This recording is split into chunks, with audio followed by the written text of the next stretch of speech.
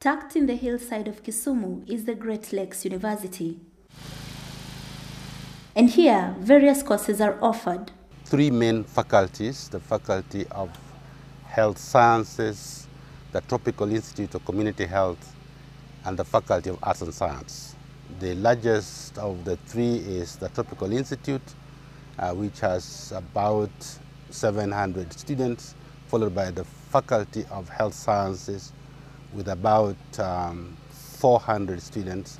The institution reckons that the field of medical studies has in the recent years witnessed improved student enrollment.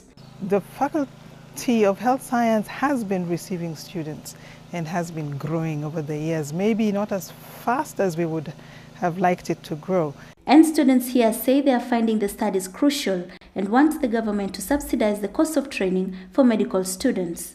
Just being able to even go to the private institutions and you know help subsidize or pay for some of the students who are doing health courses would be a very good thing in seeing to it that we have an adequate workforce. And as Kenya works its way to open up more gates for students to train in the field of medical sciences, more still needs to be done to make healthcare affordable and accessible to all Kenyans.